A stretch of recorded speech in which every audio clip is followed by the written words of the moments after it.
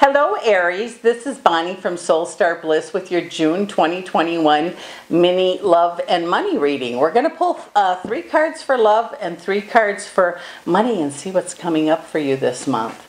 I know they're going to be short, but I thought, you know, nobody has hours on end to listen to, to videos, so I thought I would try to do them as quickly as I could. We'll see how it works. Let me know. Drop me a comment. I appreciate it. Okay, so for love, let's see what we have. And I'm using the Light Seers Tarot by Chris and beautiful, beautiful artwork on these cards. I have the Temperance. And we have the King of Wands. Excuse me. Then we have the Empress. Oh my goodness, there could be a lot of love going on around here. For those of you that are single, I feel like this could be a month where there's going to be I don't want to say movement or action, but it looks like this could be a month where you really do um, possibly meet somebody. And as crazy as the year has been, you know, uh, this last year, this would be something very interesting and very welcome, I'm sure, for those that are single. The Empress means that uh, abundance, love. This could be really a big deal. Um, for those of you that have recently split ways with somebody, there might even be an opportunity where someone wants to come back. Certainly up to you what you do with that. But remember, past behavior is a good predictor of future behavior. Just, just saying. So it says here that as much as everybody seems to want love, it looks like don't don't be in a hurry. You know, love love doesn't love doesn't grow quick. That well, it can grow that quick, but it says don't make any foolish choices here. Just be open to receive. Um, if you're already in a uh, in a in a marriage or a, a relationship, a committed relationship, this could be just what is needed. Maybe a little, you know, stop and pick some flowers on the way home or grab a sandwich and wrap it up and take someone on a picnic. It says just by adding a little bit of, um, oh, how do I want to say, pay attention to that person that you're with. It's going to mean more actually than buying them a lobster dinner or buying them a new, you know, diamond ring or something like that. So with the love for this for Aries, just be open to receive. And those of you, and I'm not sure if that's for everybody, if someone wants to come back from the past, Think about it before you make the decision. Find out where you know exactly where you want to be. And with that said, let's go on to the money. Money, money, money. And we're using the Crow's Magic by Londa Marks. Again, I love these cards. The artwork on them is really quite beautiful. Very beautiful. And they just feel good. The energy of these cards always feel good to me. So let's see what is coming up in the money for Aries for June 2021. Let's see what we've got here. What do we have? We have, oh, the Seven of Cups. And we have the Ten of Swords.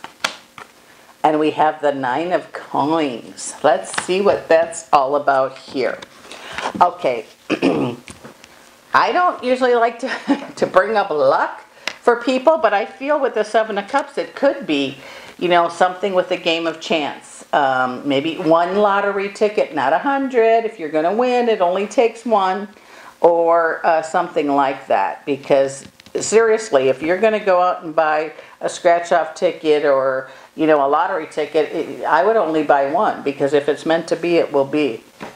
But it says you're going to be at the right place, right time, has something to do with money. Now that also could mean that maybe you're going to be at the right place, right time to apply for a new position or a new job or something like that.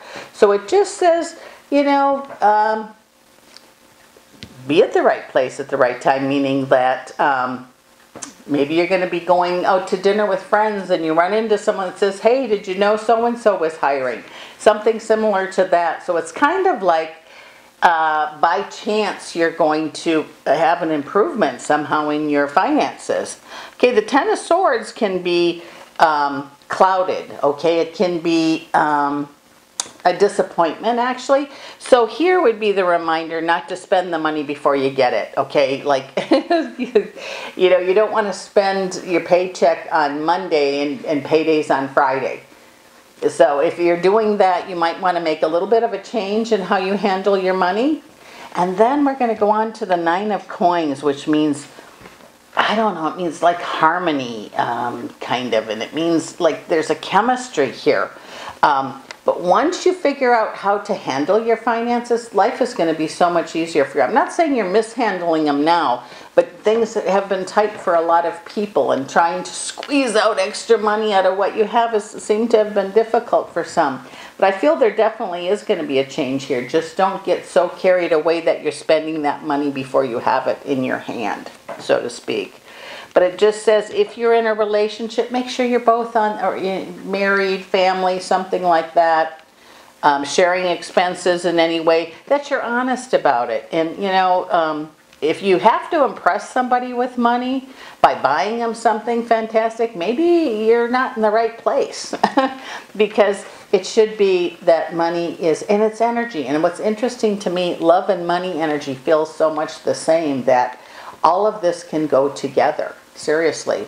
So one of the things that you might want to work on with your partner that you have now is how you want, what do you want for the future? And if you both speak up and say what you want, this will be easy. One can't be, you know, saving and the other one spending everything or vice versa. So get that conversation going and make a plan because I feel like this could be a month of many changes with a lot of smiles here. And with that said, this is Bonnie from Soul Star Bliss. Let me know what you think. I know it's very short. Um, but I just thought it would be something that was quick and easy for you. So I appreciate your watching and I'll see you again next month.